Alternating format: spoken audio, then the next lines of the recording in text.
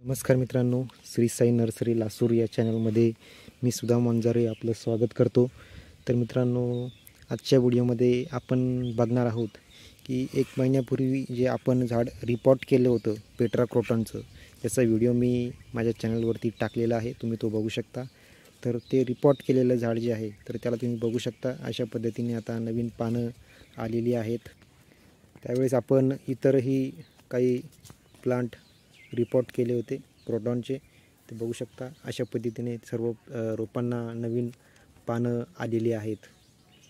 तर आता याला खताचा डोस द्यावा की नाही किंवा द्यावा तर कोणता द्यावा ते आपण आज बघणार आहोत. तर मित्रांनो रिपोर्ट करून साधारणतः एक महिना झालेला आहे आणि याने अशा पद्धतीने नवीन ग्रो करायला चालू केलेलं आहे. तर आपण याला आता खताचा डोस देऊ शकतो. साधारणतः तीस दिवसानंतर कोणत्याही रोपाला तुम्ही रिपोर्ट केल्यानंतर खताचा दो डोस देऊ शकता. किंवा पावसाळ्याचा जर दिवस असेल तर पंधरा दिवसानंतर देऊ शकता. आता सध्या उन्हाळा आहे त्यामुळं साधारणतः एक महिन्यानंतर तुम्ही खताचा डोस देऊ शकता. तर खताचा डोस कशा पद्धतीने द्यावा ते आपण आज बघूयात. तर मित्रांनो खताचा डोस या रोपाला देण्याअगोदर याच्यामध्ये जे काही तण आहे ते तण आपल्याला अगोदर सर्वात अगोदर काढून टाकावं लागेल. सर्व तण काढून टाकल्यानंतर ह्या पॉटमधली जी माती आहे ती माती आपल्याला मोकळी करायची आहे. लोखंडी हत्याराच्या सहाय्याने त्याला उकरून घ्यायची आहे. साधारणतः एक ते दोन इंच माती आपल्याला अशा पद्धतीने उकरून घ्यायची आहे. तर बघू शकता मित्रांनो आता ही माती मोकळी केलेली आहे. आपण याची टाचणी केलेली आहे. आता टाचणी केल्यानंतर त्याला आपल्याला खत द्यायचं आहे. तर खतामध्ये तुम्ही कोणत्याही प्रकारचं खत वापरू शकता. घरच्या घरी तयार केलेलं चहापत्तीचं खत सुद्धा सुद्धा तुम्ही याला वापरू शकता.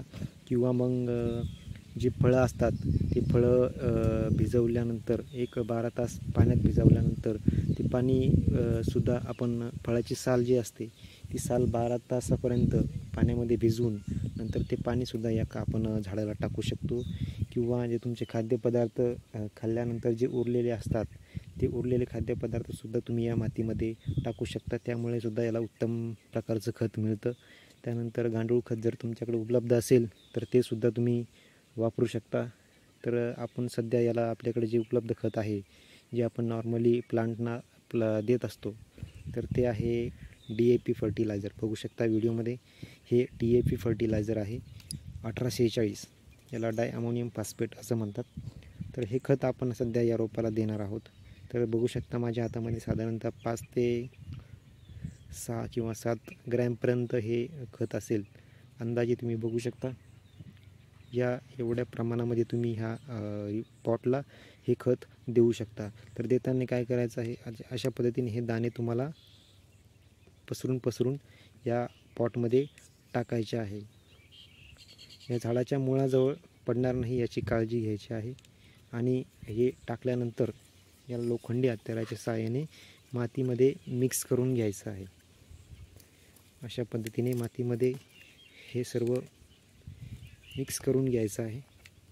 मिक्स केल्यानंतर याला तुम्हाला पाणी द्यायचं आहे. साधारणतः अर्धा ते एक लिटर जेवढं पाणी याच्यामध्ये बसेल या पॉटमध्ये तेवढं पाणी तुम्हाला या रोपाला द्यायचं आहे.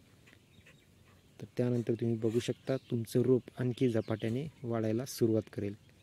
तर मित्रांनो व्हिडिओ आवडला असेल तर जरूर लाईक करा आणि अशाच प्रकारचे व्हिडिओ बघण्यासाठी चॅनलला जरूर सबस्क्राईब करा. धन्यवाद.